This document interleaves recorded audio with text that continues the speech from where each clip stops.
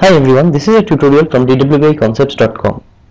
In this tutorial today, we will learn how to implement a slowly changing dimension of type 1 using data services specific transform like a table comparison transform.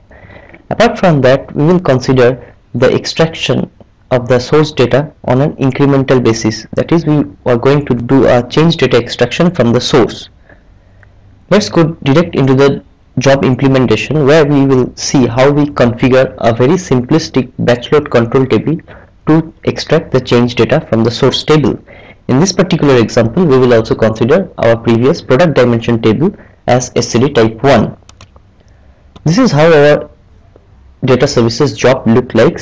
Let's go in inside the initialization script. Over here, we will find a batch load control table.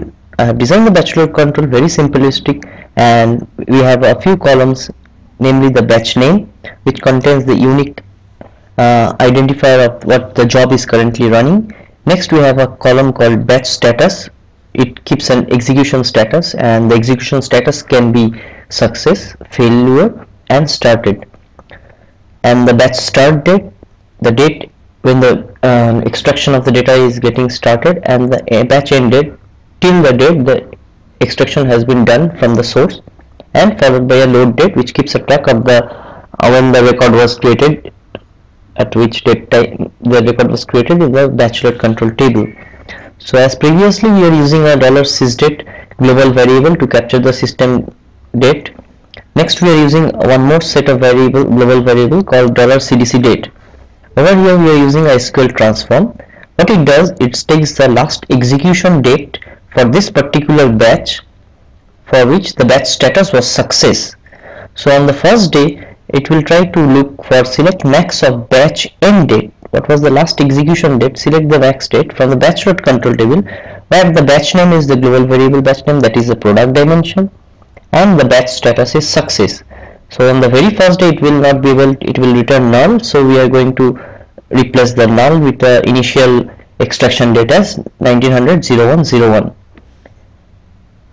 Next we need to mark an entry in the batch load control table. So the batch load control table we will entry make an entry like a product dimension batch status has started the start date as the CDC extraction start date that is 1900 0101 for the batch end date it will be getting updated later based on the execution status of the current job whether it's a success or a failure depending on which the batch end date will be populated accordingly and finally a system date to uh, identify the load date of this particular tuple.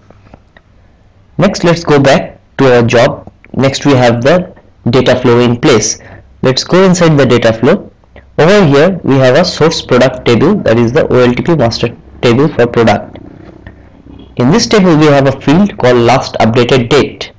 This column actually helps us to identify whether a new record was inserted in the master table or existing record was modified.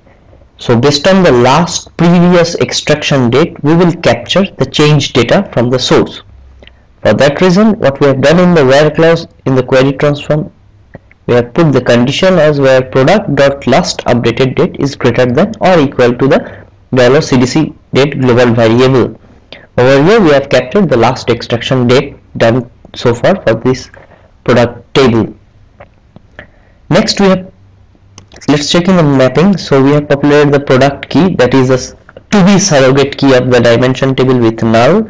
Next we have the source product id we have renamed this column so that we are using a table comparison transform going forward. So based on column name we are going to do a comparison. So we just rename the column as source product id followed by the usual columns the name of the product and the price Next we are using a table comparison transform. This is a built-in uh, transformation available in data services which helps to identify uh, whether a record has been updated or whether a record exists in the target or does not exist in the target and also it generates based on the if the record is existing in the target it will generate an operation code for that particular record coming from the source as um, update and if a record is doesn't exist in the target it coming new from the source then it will uh, uh, make the operation code of that particular record as insert.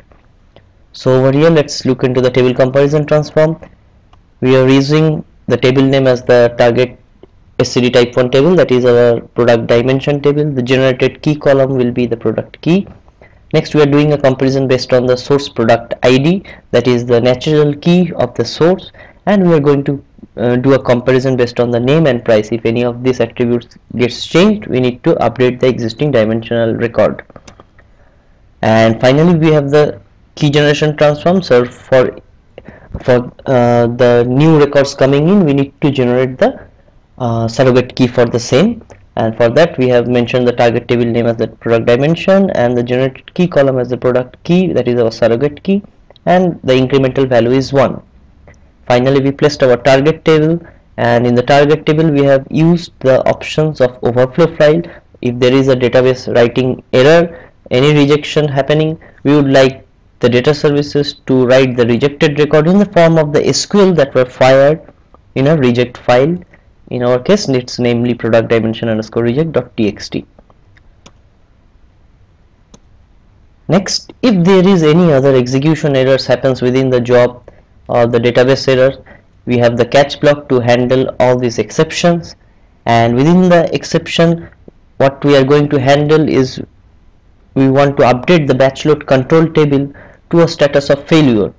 So in case of any exception we would update the batch load control table set the batch status to failed which was earlier started. So set the batch status to failed and batch ended the same as the batch start date because the batch was not successful. And where the batch name is the uh, dollar batch name that is the product dimension and the batch status was started.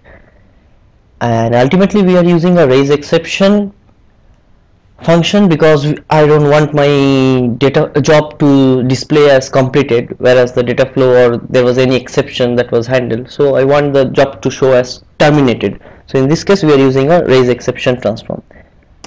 Now if everything goes fine our data flow runs smoothly and finally we will use a final script.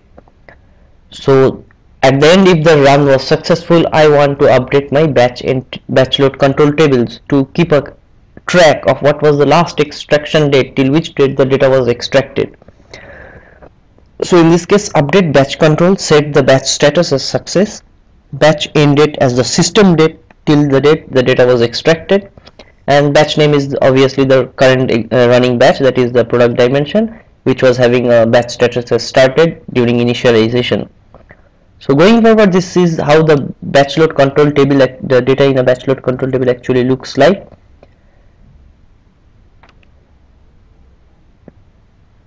Next what I have done over here is that in case there is any rejection I want my batch control status table to display as failed. So if the logs the reject file size is greater than 0 I would still like to mark that batch control uh, table as failure.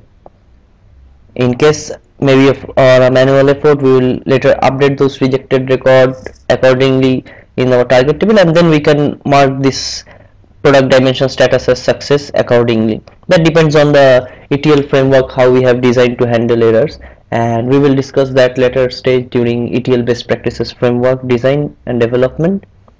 This much for the day hope you liked our tutorial. For any more uh, questions visit dwbiconcepts.com thank you